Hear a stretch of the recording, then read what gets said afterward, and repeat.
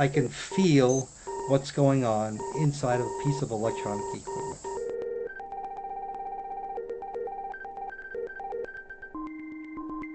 I, I have this sense that I I know, and to some extent, I have control over what's going on inside the transistors and, and, and inside the resistors. When I'm thinking uh, about how to solve a particular problem, I can think about it for days and weeks, and nothing will happen. And then, you know, someday when I'm cutting the grass, or I'm having a hamburger, or, or, or I wake up in the middle of the night, the idea will be there. Uh, I, I, think I, it would be egotistical of me to say I thought of it. What happened is I opened my mind up and the idea came through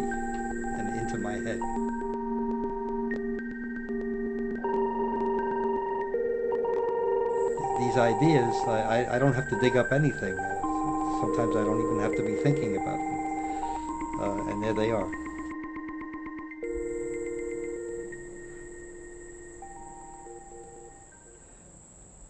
It's something, uh, it's something between discovering and witnessing.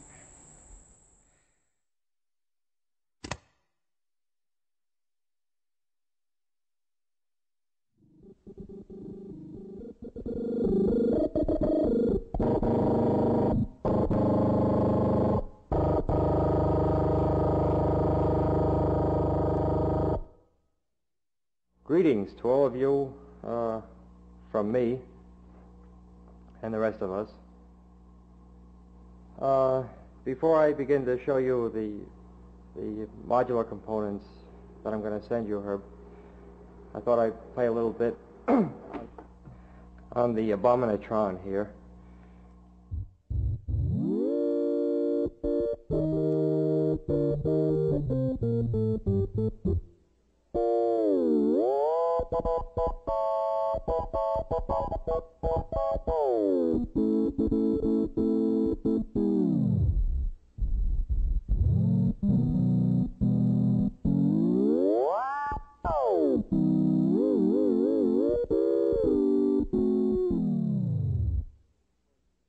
Of course, you can modulate the frequency with any of the uh, signals. Most obvious one, of course, is uh, sticking a little sine or triangular wave, low frequency, get a vibrato.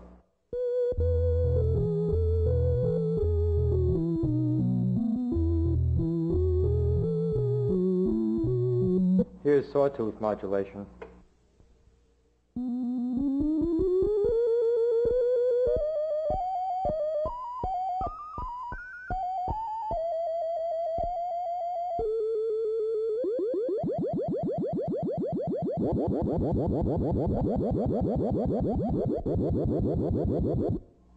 Well, I'd appreciate your comments, what you think of the potential of a contraption like this is. It wasn't natural. I, I, I think that was the first response. It wasn't natural, it, and therefore it wasn't right. It, it wasn't the way things should be. An interview I did at an acoustical society conference in Canada a couple of years after my uh, my equipment was introduced, what the media focused on were two things.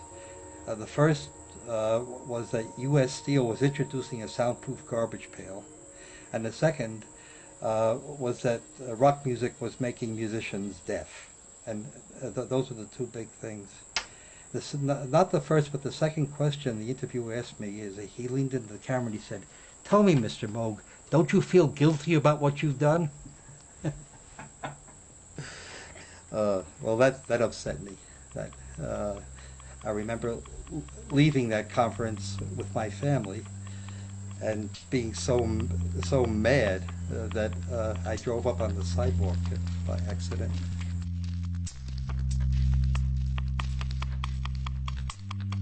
Back then, anything that didn't come out of a out of wood or a brass instrument or from a string was considered somehow suspect at least and downright harmful at, at best.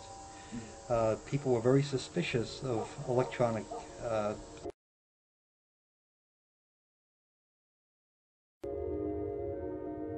Before uh, the release of Switched on Bach, which was the end of 1968, uh, not much music uh, had been made with, with electronic instruments. People heard lots of funny sounds. They heard the sounds in television and radio commercials. Perhaps they heard the sounds in uh, experimental music, uh, which uh, was very, very strange to most people.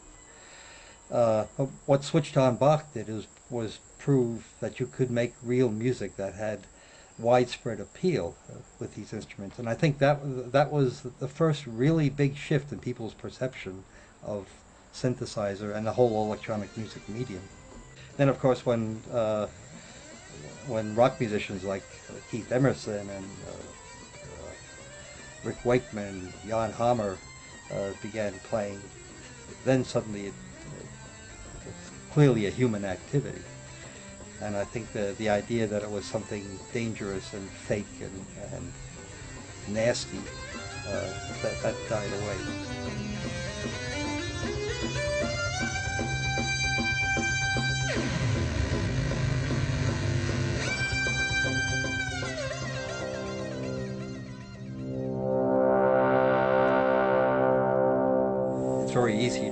These days to have an electronic instrument make a sound like wow type sound. Very popular. When when these sorts of sounds were first being heard by the general public, people were freaking out. It, it was the, the, same sort of uh, reaction that we think of primitive cultures having, that a photographer might steal uh, steal your spirit and I, I guess that that's what that uh, interviewer at the Musical Society meant by feeling guilty. You know, that you know, part of it is you're, you're destroying music, destroying human culture as we know it today.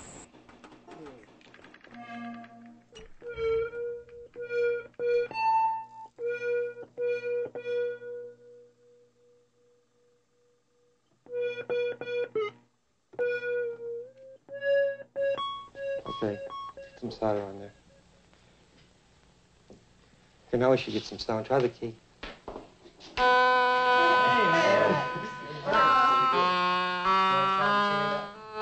Yeah, get, get an octave there. I like to design an instrument that's uh, as as open and uh, as wide range as possible so that there are as many possibilities uh, as possible.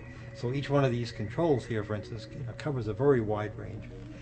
You can make a you make rapid sounds, long sounds. You can play on a keyboard. You can play on the knobs. You can play on the on the touch surface. The quality of a musical sound is determined primarily by how the sound moves from beginning to end. Some sounds are very stable and others shimmer or build up and decay or vibrate in a variety of ways. And as a musician, you, you, you get to know which knob to reach for and turn when you want a certain kind of change. We began building synthesizer modules in 1964, and by the time uh, we started doing the Minimoog, we had several years' experience with uh, musicians using our modular equipment to produce all kinds of music. You name it. Uh, there was a record out, or there had been a live performance of, of a particular kind of music. So we knew uh, we knew that uh, there were certain things that all musicians wanted to be able to do. Uh, they all uh, gravitated to this sort of tone producing capability here. Three oscillators, three wide range oscillators. Everybody liked the filter and the sorts and these sorts of controls. Uh, this particular type of envelope uh, where you uh, you shape individually the rising portion, the decaying portion, the sustain before you let go of the key and a release afterwards. This particular one was actually defined for us by Vladimir Ussachevsky, who had years of experience before that making uh, experimental music. But uh, his definition, uh, which this is an embodiment of, uh, has become standard now in mainstream uh, electronic musical instrument design.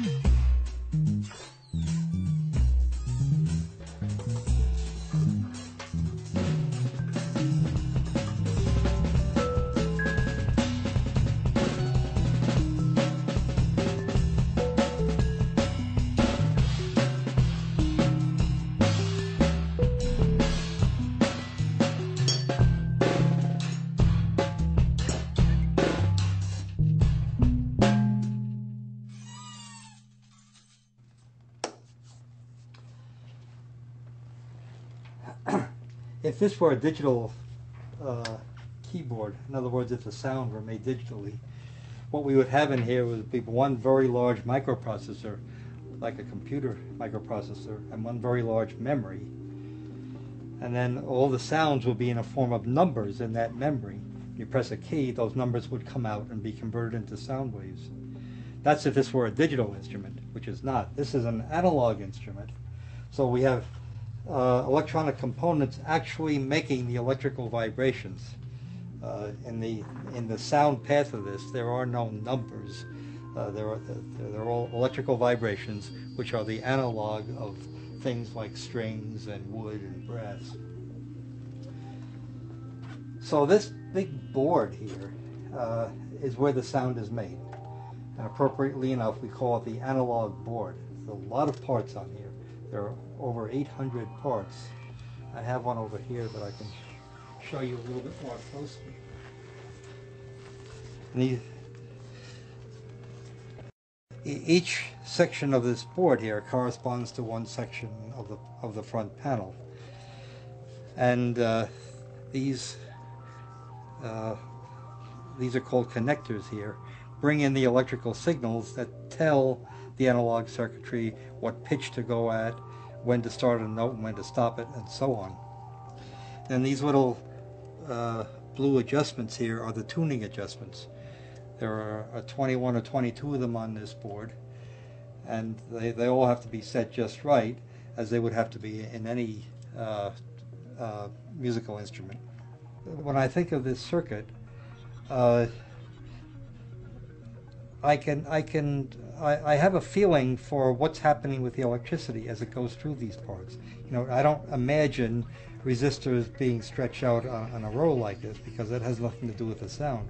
What it has to do with is all these little traces on the board here that connect it together and cause the uh, the current to, to, to change as it goes from one part to the other. So I, uh, I have a feeling which is very similar to how I imagine a viol, violin maker feels when he's uh, just getting the right amount of wood uh, in one surface of the violin. There are a lot of people who uh, who begin to feel what the circuits do in in a way that's similar to the way I feel them. Now I have technical training, so I, I visualize uh, things more in terms of voltages and currents. Uh, but you can also visualize them in, in terms of how the sound is changing. And I, I know for a fact uh, that that musicians make contact with, with this board inside the instrument here. Uh, not not physical contact. It, you know, it's not like they have it under their armpits, but uh, there's something going around here that connects what's going here with what's going inside here. Uh, it's it's not spiritual in the sense that it's religious, but it's spiritual in the sense that it, it uses some way of connecting what's in the you know, the things that are in the universe by ways other than directly with ours that we can see with our senses.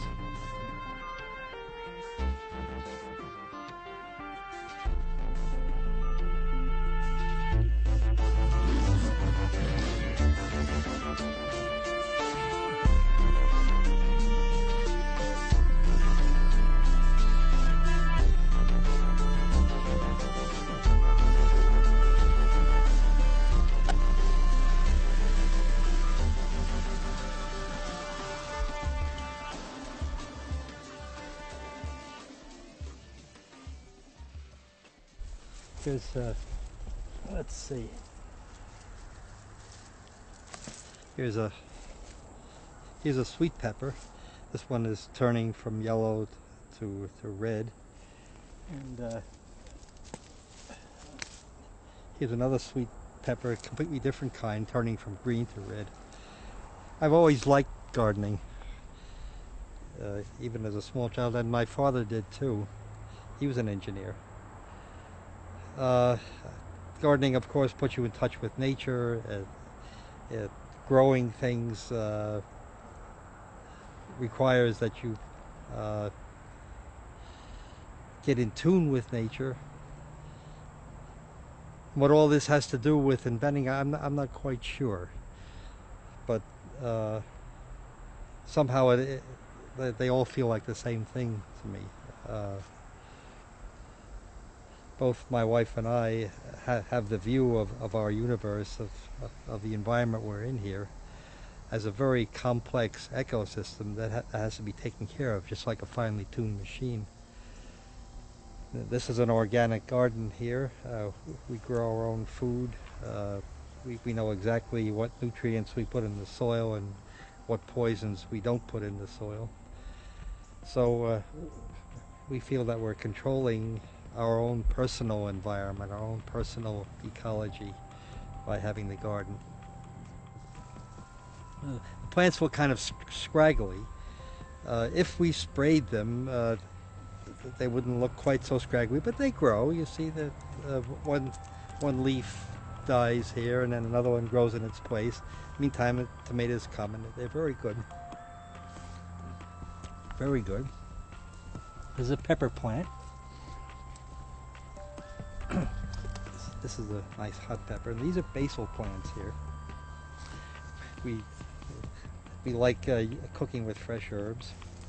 These are collard greens. They're pretty badly eaten.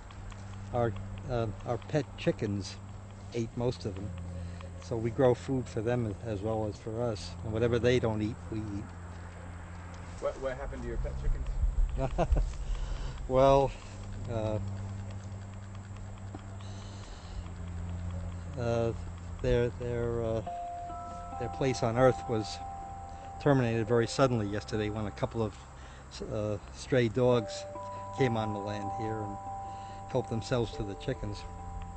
So now uh, the collards will grow back, and we'll have to eat them all.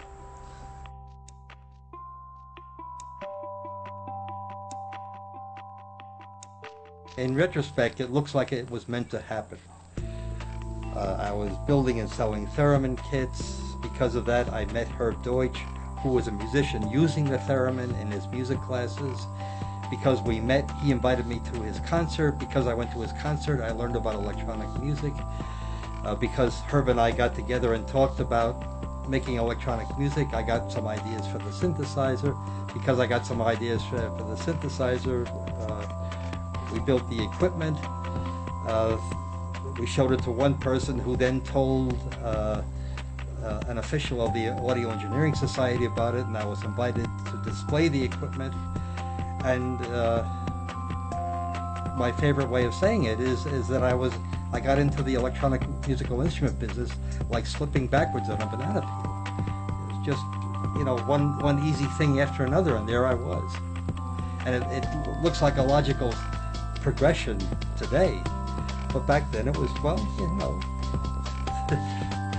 if I do this, then let's see what happens.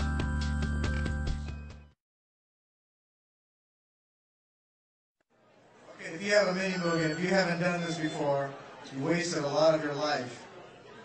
This is one of the funnest things ever to do with a mini Mugen.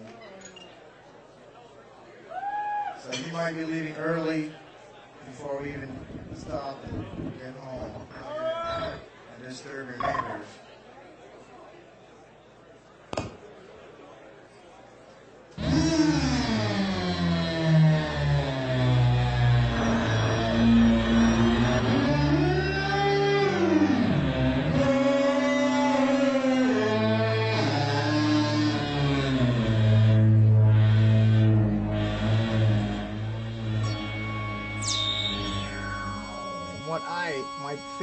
To grab was the cutoff frequency. Now you say there's a pedal.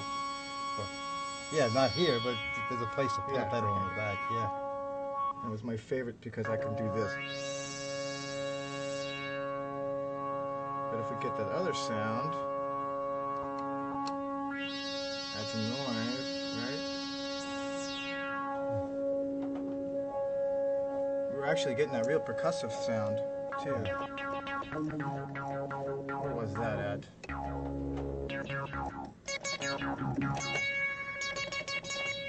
And it was modulating as well. A little modulation? There we go.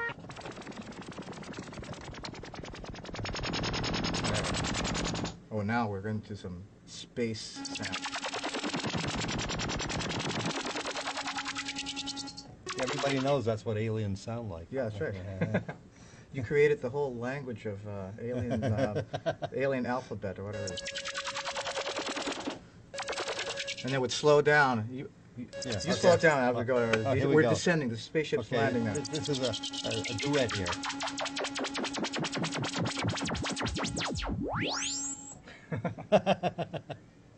Then little aliens came.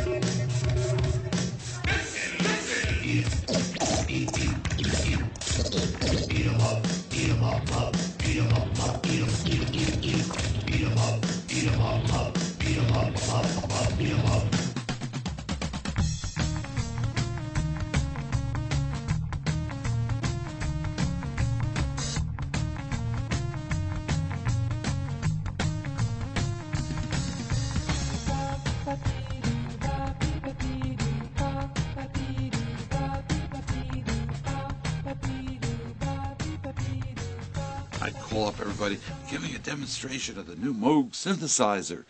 People would say, What the hell's a synthesizer? The word wasn't even known. Yeah, things were changing so fast that I never got a, a bead on exactly who was uh, who this equipment was for. First, it was for the experimental musician. Then it was for a few people in New York City who had some crazy ideas about new sounds to make. And then it was more people in New York who were making advertising commercials. And then it was the, the album producers. And this was constantly changing. And of course, I, I didn't have any experience at all, anyhow.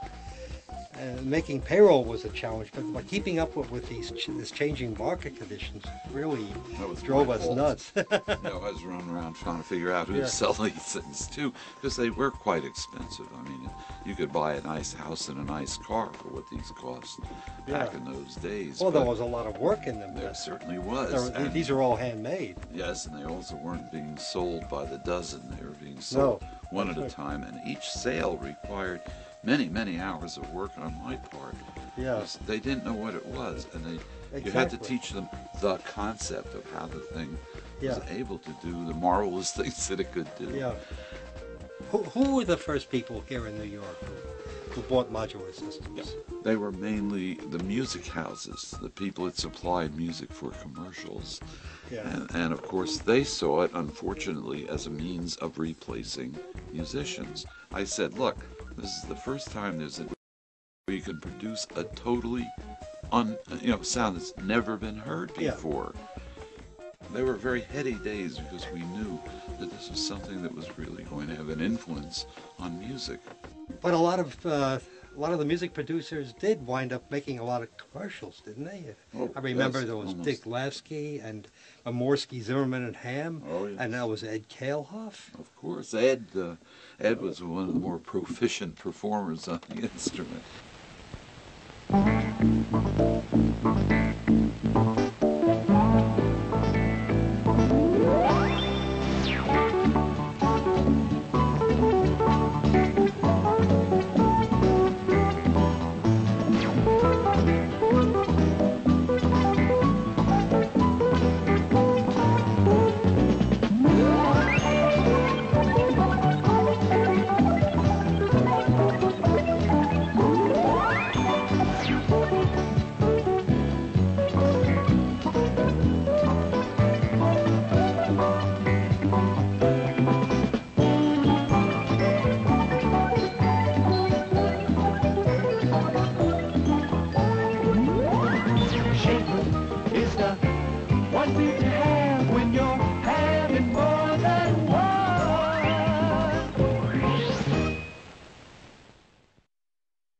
The synthesizer is nothing but a new step in the evolution of musical instruments.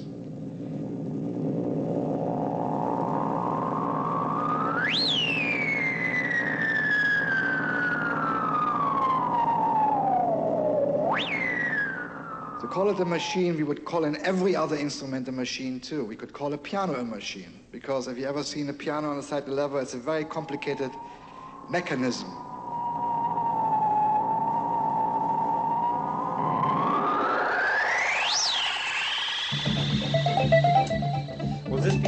After the uh, First Moog Quartet concert?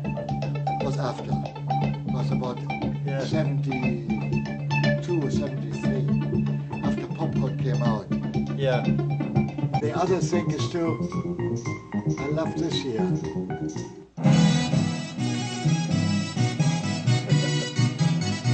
Played live, four books. Was this from the concert too? Remember when I worked with Jean-Jacques Perrey in the beginning, uh, he used um, his Ondioline, remember Yeah, yeah. this? and I played a clavichord, an old Yeah. one. But I felt always very frustrated because he had an electronic instrument and I just did, you know, that blah, blah, blah, blah. And one day came the guy um, uh, who did that famous commercial for um, Eric Siday? Eric Siday. Yeah.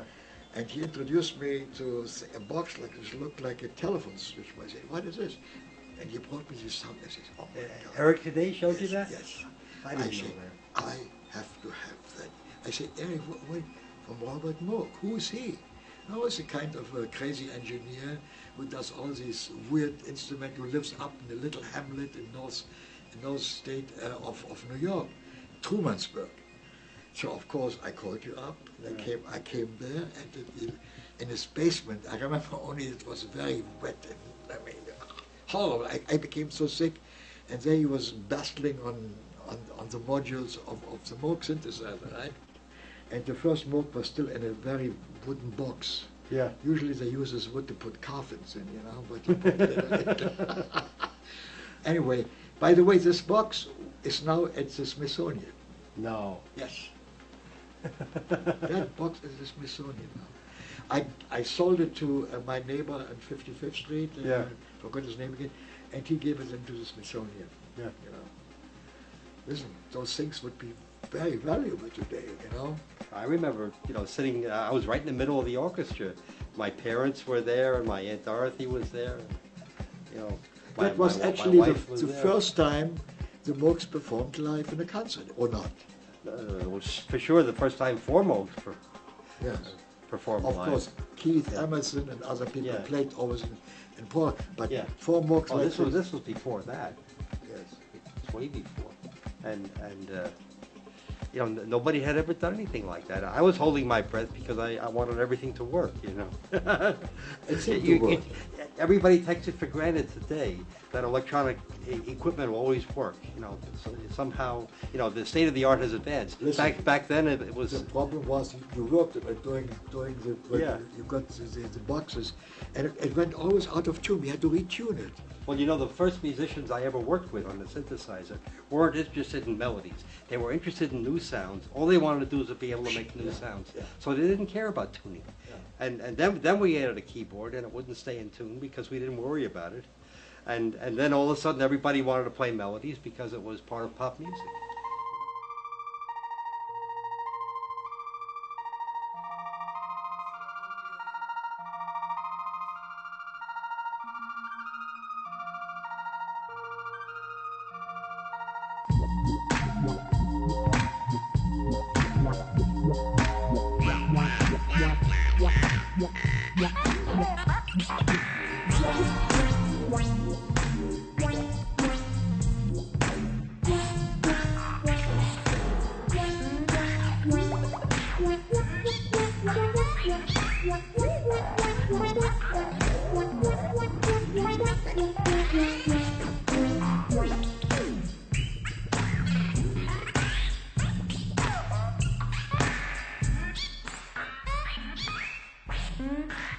Now, actually, every Moog can be built differently. It depends on your own requirements. So it's not actually one instrument. You can build it up the way you want. It's like an, er- like an erector set, you see? When, I began doing uh, stuff for electronic musicians, I, I built modules, and each module was a little box with an input and an output uh, that did one thing and one thing only, either making a waveform, sound waveform, or modifying it somehow, or, or making a shape that the waveform would change by. And you could connect these together with, with cables, with, with uh, patch cords. Uh, so that's how we began. And by the time uh, two or three years went by, this was around 1967, uh, we had a whole system of these things. We could put them all in a box and connect them together. So we thought of the process of making the sounds as putting the parts together, which is what synthesize means, to, to put together a whole, something whole out of all of its parts. And that's when we decided to use the word synthesizer. And in fact, in our 1967 catalog of Moog Music, we, we had a little section called The Synthesizer Concept. And we explained what we meant by the use of the word synthesizer. We didn't mean to imply that uh, what it made were synthetic sounds.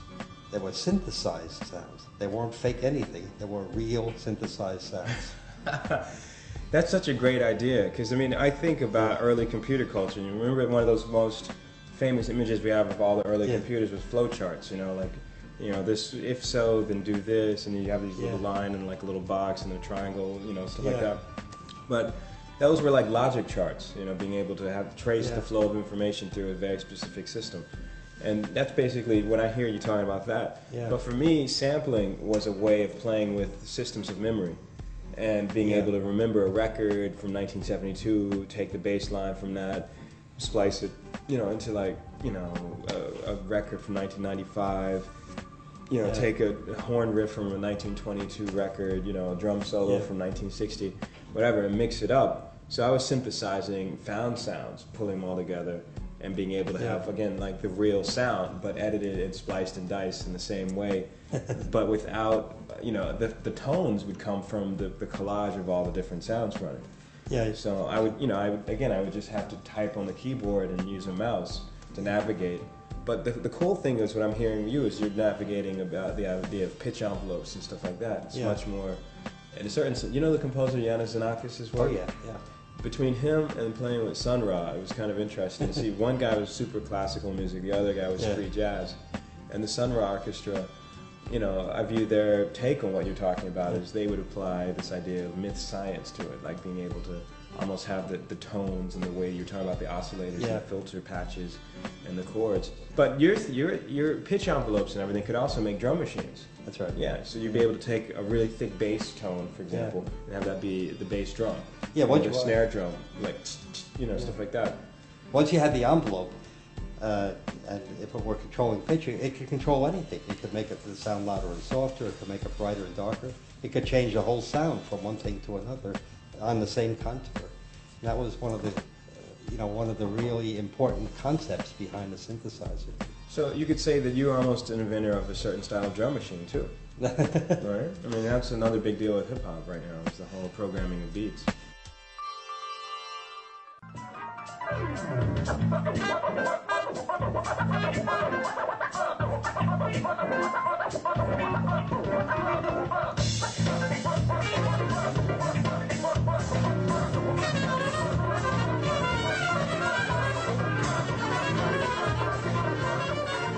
My first encounters uh, with Bob came off, didn't they? It came after I actually uh, discovered the Moog. Um, there was a studio in England called Advision Studios, and a guy called Mike Vickers had bought one of the big modular systems. Yeah, yeah. uh, and he couldn't afford to pay for it. So what he did, he left it in the studio because he knew that when keyboard players came in and saw it, they'd go, "Oh, great, can we have a go?" And then the, the guy there would say, "Yeah, but it's going to cost you 50 bucks to have a go on it." And that was how you know we made a lot of money, and we used it a lot, and it was fantastic. And then I discovered the Minimoog. Yeah. I don't know whether you know the very first story of how I bought my first Minimoog. How was that? Well, the manager that we had at the time, it was a, it was a bit of, bit of a villain. He said, uh, he said, I've got an actor. Yeah. He said, who works for me, and I'll tell you who it was. The actor called Jack Wild. He played. Uh, I can't remember what he, he was uh, in. He was in Summit anyway, and he bought a Minimoog. And he and Brian said he wants to sell it. I said, oh yeah. And he said he'll do you a really good deal because it doesn't work. And I said, what do you mean it doesn't work? He said, it doesn't work. He said, he'll do you a really, really good deal, like half price what he paid for it. And I said, all right. Okay, well, I'll have a look at it. And there wasn't anybody who fixed them or anything there. So it arrived, and it was mint. It was all in all the, the original, because they used to come in the original, uh, like plastic, all the, the big, thick oil and things. And I took it out, and I plugged it in, expecting smoke or something, and it all lit up right. And put the headphones in, put them on. And it was, it was it's like never been played. It was absolutely perfect. It was absolutely fantastic. This is not a joke, but it's absolutely true. so I, I thought, well, I better be honest here. 'cause- and I left it on soak all night, still fantastic. And I up Brian, the manager, and I said, look, I've, I've, this there's absolutely nothing wrong with it. He said, well, I don't understand. He said, I'll get the guy on the phone. So he got the actor on the phone, and, I spoke to him, and he said, I said, I've got to tell you, there's, absolutely nothing wrong with it. He said, no, he said, he said, I've, I've tried it a lot. He said, I can only get it to play one note at a time. Yeah. And I said, and I said, it's, it's monophonic, it only plays one note at a time. He said, well, that's no good to me. He said, oh, you can have it. So I bought it for half price, and that was the first one. And then I went out, and over the course of the next two years, I bought another eight. so I ended up. I, You see, you needed more than one note at a time. Oh, they were. Fa- that's right. Well, they were fantastic. The, the, uh, I used to use four on stage for yes, and then four around. And I think the Minimoog is. Because I had the, the was it the P model, the one that was the modular one? Yeah, yeah, yeah. I, I had that, but for on stage, there has never been anything to surpass it. I mean, it changed the face of music. Absolutely changed. I mean, for the first time, I mean, we were talking on the radio station the other day when you could, for the first time in your life as a keyboard player, you could go on and give the guitarists a run for their money. Because before the guitarists were always nice and loud. Oh, here comes the keyboard solo. You know, like, you know, really quiet, really going. But suddenly we had something that was louder than them, would cut through concrete. I mean, when you, saw, when you saw guitar players, they hated it. When the key's the keyboard player, oh shit, he's got a Minimoog. You know, so they're looking for 11 on the on the volume. It's the only way they can compete. And there's, you know, nobody's ever come up with anything, anything like ever like the mini. No one. But it's, it's, to me, I think that's to me that's the most im, im, important keyboard instrument that's ever ever been made. I'm not saying that because you stand there, but it is. It's the most important one that's ever been made because it changed the face of, of, of music for people. It was absolutely fantastic. And I bow before you forever for that, Monk.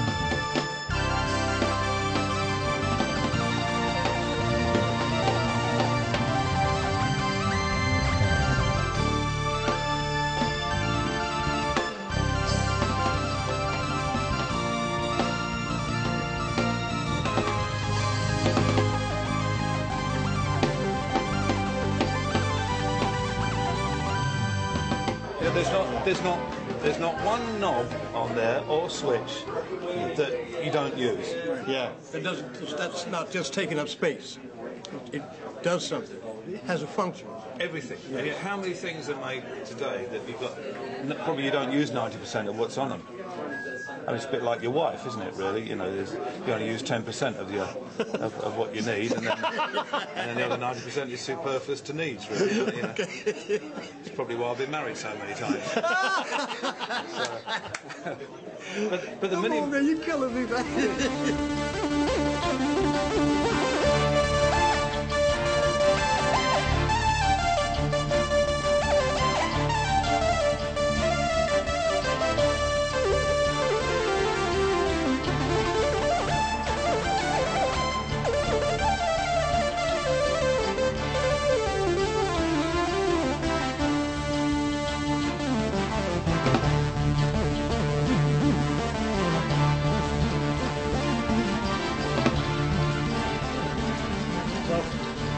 Sexual mind. How I play, how, how I tell everybody, male or female, especially females, I, I, I play sexual because it's foreplay, uh, climax, after, and, then down after. So it's a sexual thing with me. And so the touch of the Minimoog is like a female to me.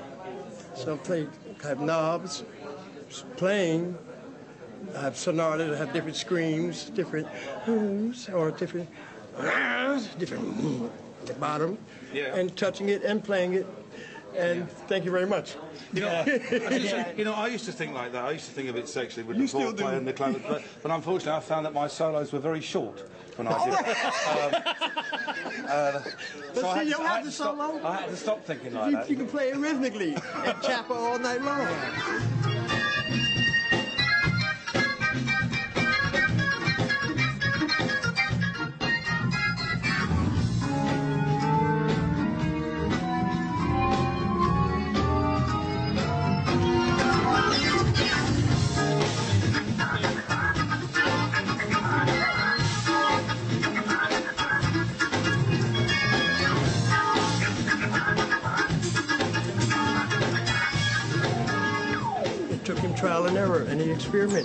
Just like we experiment when we're playing. I think. I don't want He to talk just out came- of line. He just came up with with with an instrument that could make sounds that nobody else could. Absolutely nobody's Came- ever come from him. close. And it's so it's it's come from the inside of this man. It's come from this Yes. man's heart, and he's given it to us. I'll, t- I'll tell you where I think it comes from. I think it comes from out there, you know, and it comes through me into the instrument, and then the music comes through you guys and the instrument, and that out. We're all being tapped. It's all given to us as an inventor, musician, composer, songwriter, through through the one, believing that, that Yeah. it all comes from there. To it's coming through y'all through the camera. Bob's given us an instrument with an X factor. And if, if you try to find out what the X factor is, you're wasting your time. Just be thankful it's there. Yeah. It's a great it's a great thing. You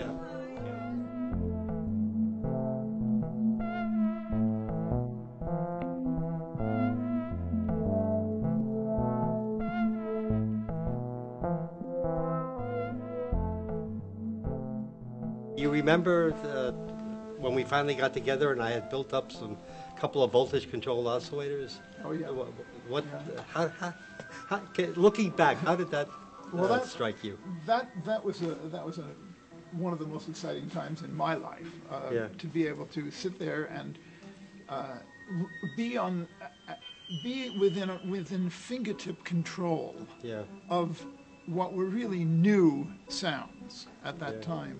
When you took these circuits and your tape recorder down into the basement and you actually put music together, that, that blew my mind. You know, that, uh, you know, it's, it sounded one way, uh, sort of, uh, you know, it sounded very electronic and, and striking, but not musical on the bench. But then when you, when you assembled sounds uh, musically on the tape, it, all of a sudden it, it became a piece of music. That, that was a, that was a, that was totally amazing. You know, it, it, it, the thing about electronic instruments is that as soon as you touch them, if you're a musician, Yeah. they immediately trigger off musical ideas because the reference point is there. I mean, there is a reference point of a world of music you know. And then there is the other reference point was the is is that music that that potentially would be there. The music that could grow out of sounds that that the traditional instruments can't make and that the traditional references aren't there for. Um, we we talked, for instance, about at the very beginning days about whether the instrument should have a keyboard. That's You know, right. the Very, in the very few first first few days, uh, should it have a keyboard? Does, is that necessary? Yeah, there were all sorts of ways of, of shaping the pitch of the sound. Yeah. Keyboard was just one of them. Yeah.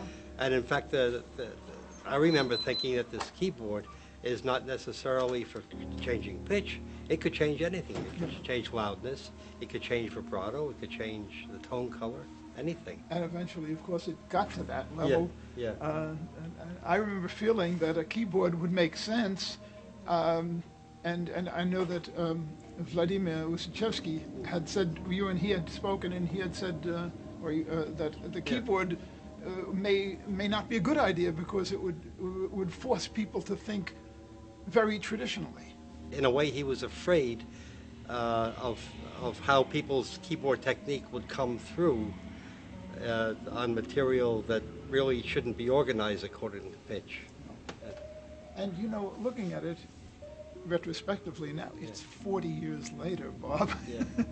he was partially right.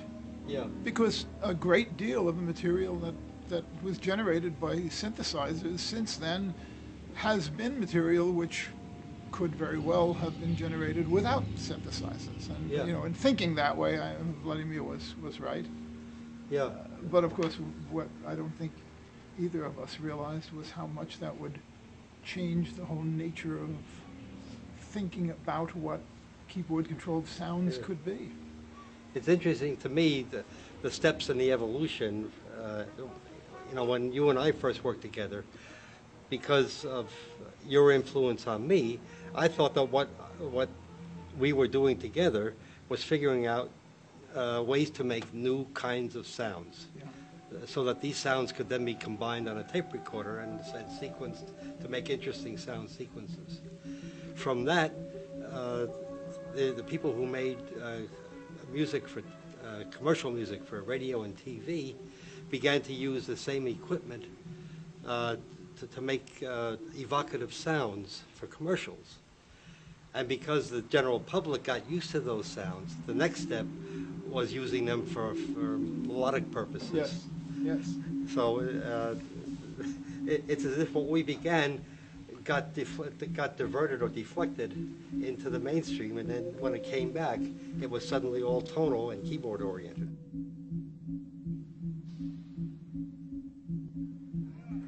It was in 1970 that I visited our dealer in London.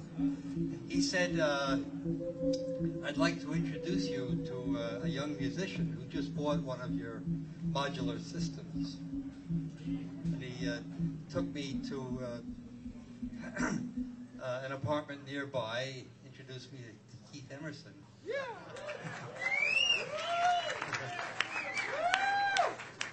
As I remember, we had tea. Do you believe that? Yeah. maybe I'm maybe I'm making that up.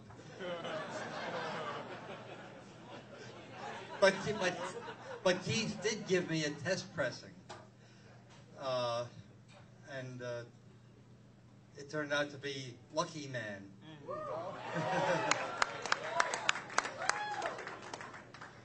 I thought to myself, woo hoo. and uh, you know, Keith explained that uh, you know this was one of the first things uh, he had done with the synthesizer. First time I saw Keith live was at the Gaelic Park.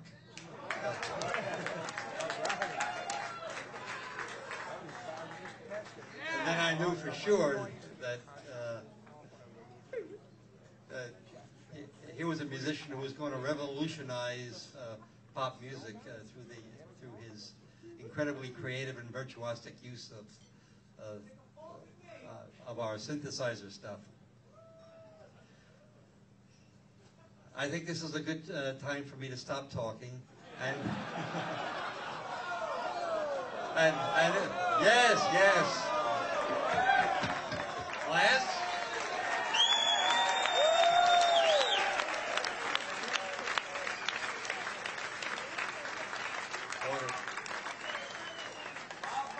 Ladies and gentlemen, Keith Emerson.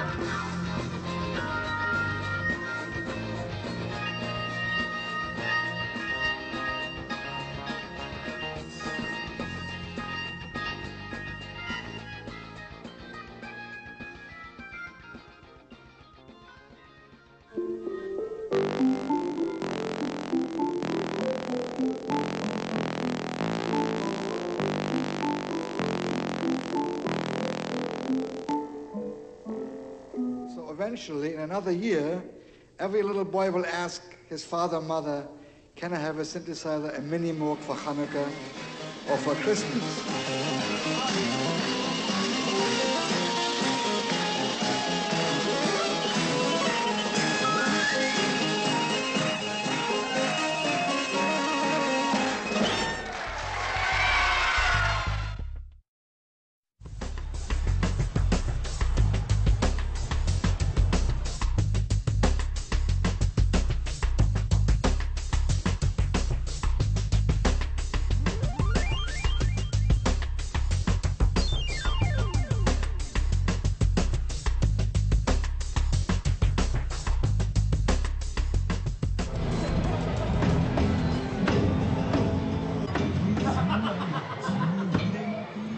One thing,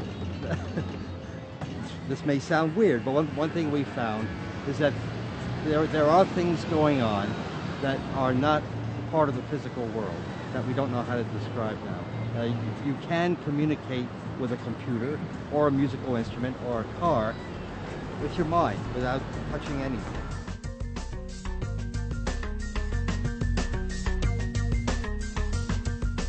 I'm doing several things while I'm in Japan here. Uh, first is uh, I, I gave a talk at the Visualogue uh, uh, graphic design conference in Nagoya just a few days ago. Graphic designers from all over the world came to talk about things that they were interested in. I had an audience of about 3,000 people. Some of them were students, some of them uh, were people from around the world who make a living doing graphic design. I talked about the interactive properties of musical instruments, not just electronic musical instruments, but musical instruments in general. And uh, that's part of uh, uh, the designer's interest in interaction. Interaction is a very uh, hot topic these days. Uh, design is seen as not just something static, but something uh, that becomes a part of the observer, and uh, uh, there's a communication going back and forth. Some of the communication we understand, some of it, frankly, we don't understand. For instance, why do you why do you feel at one with your musical instrument? Why do you feel that the instrument is an extension of your hands? Uh, there's something going on that's more than just the way the instrument feels and sounds, and we don't really know what that is, but we're beginning to learn.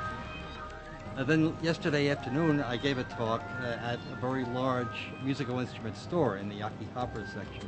It's called Laox, and uh, very big. And uh, they had organized uh, a talk show, they called it, for me to give. Uh, there were 30 musicians there. But among them in the room were four thereminists, four, four good thereminists. Uh, they were all young women, and they were all very seriously studying the theremin as a musical instrument. The theremin is fairly new to Japan, but in, in the short time that people here have known about it, it's about two or three years, uh, several musicians, maybe more than I know, have taken up the instrument seriously and have studied it uh, with the, the idea of becoming professional thereminists.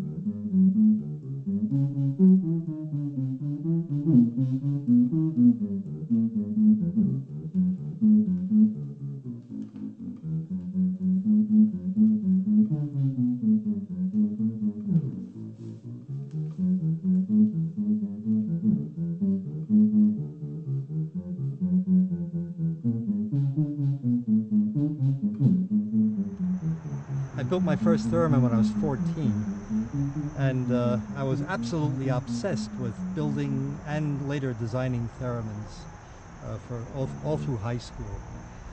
And the first instrument I ever made for money was a theremin. It was 1954. Uh, at this point, uh, I guess I'm uh, I'm as well known as anybody is for building theremins. Uh, so theremins have been a, a thread through my musical instrument designing life. Uh, I I love the theremin uh, as a technical ph- phenomenon because it's, it's very simple. Uh, it does so much and it's, it's such a sensitive musical instrument. Simplicity, elegance too. And that pleases my engineering aesthetic, that, that you can get a lot of functionality and a lot of sensitivity out of just a few parts.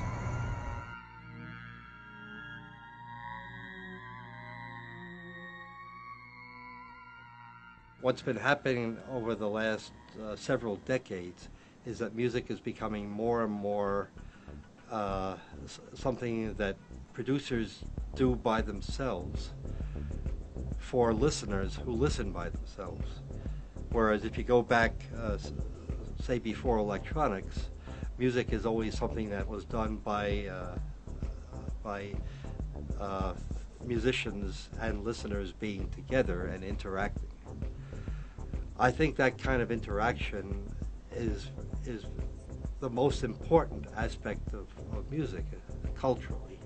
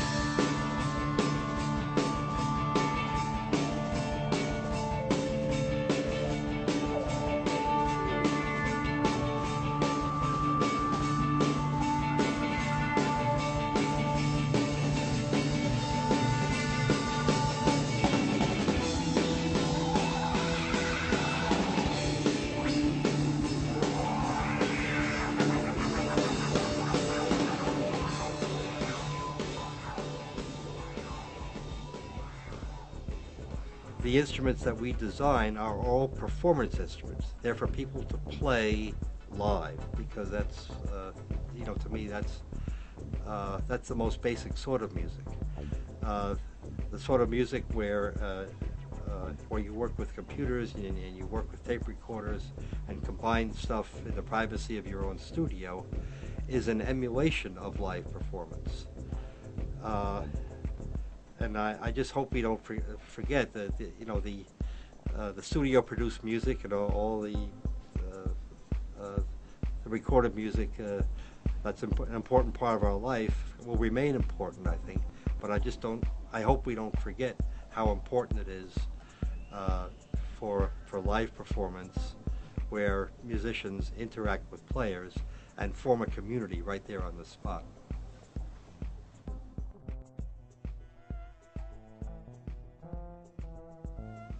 My wife, Ileana, Ileana Grams, is a retired uh, philosopher. And her specialty, one of her specialties, is in the philosophy of religion. We do a lot of talking at home about the nature of religion and spirituality. We're both learning a lot about the nature of reality and uh, the, the, connections we have uh, with realities that are at a different level than what we experience every day here in, in, in the material world. And I think that's changed the way I think about instruments too. The, the, the, more you get into material, into matter, the more you realize that all there is in matter is energy. There's a blur between energy and consciousness. All material is conscious to some extent or another all material can respond to some extent or another to uh, to the vibrations of, of energy that is different from the energy you learn about in physics. Uh, there, there's all sorts of, of reliable information now on people and animal being able to, to affect the operations of machines, even of computers. And I think that has great implications for what goes on between a musician and his instrument.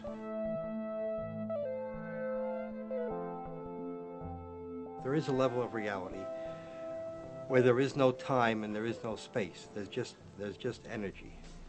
And we have contact with that through the intermediate layers. So if the right channels, if the right connections are established, I don't see why a, a piece of matter, a, a, piece of broken glass or, or an old record can't make contact through this very high level of, of reality of, of reality that has access to everything past and future. I suppose my instruments do retain some sort of a memory of me. I know that when I'm working on them, uh, I feel uh, you know, not explicitly. I don't hear voices in my head or anything, but I, but I have this feeling that I'm, I'm making a connection with them. Uh, and you know, the, the the circuit diagram that is then converted into a circuit board, which then becomes a part of an instrument, is something that you know is a record uh, that I made. So I guess uh, you know, in, in that sense, it's, it's certainly a memory.